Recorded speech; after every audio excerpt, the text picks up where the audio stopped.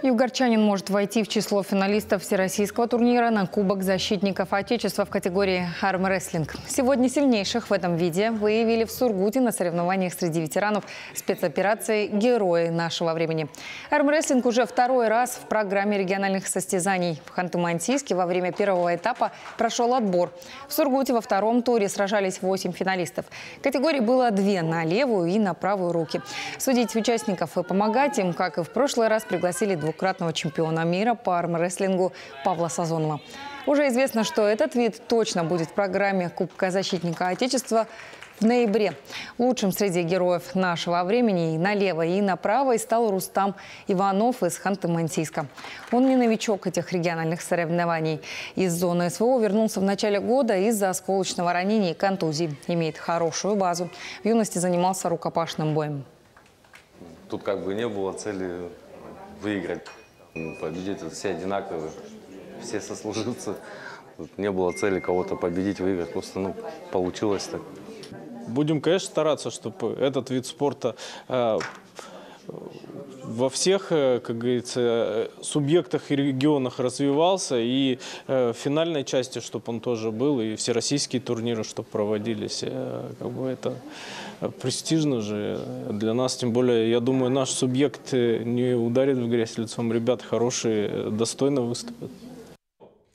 Стоит отметить, что при всей простоте армрестлинг требует хорошей подготовки. Здесь дело даже не в силе мышц, а в крепости связок и прочности сухожилий.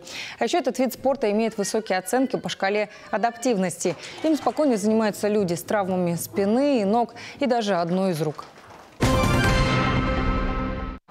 Правительстве Югры новое назначение. Глава окружного департамента дорожного хозяйства и транспорта вступает в должность. Пост занял Антон Черняков, назначенный распоряжением губернатора Югры Натальи Комаровой с 14 мая.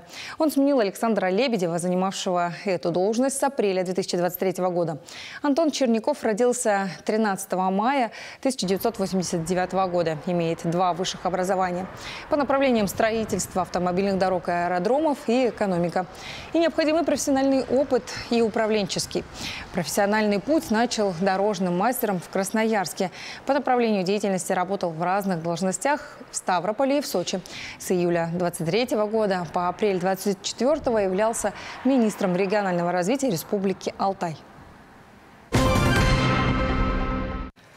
Ханты-Мансийске стартовали съемки полнометражного фильма об альпинистах. Несмотря на отсутствие гор в окружной столице, постановщики картины выбрали город в качестве съемочной базы. Горные панорамы киношники из Ice Media собирали на Эльбрусе. Там же они записали несколько ключевых сцен.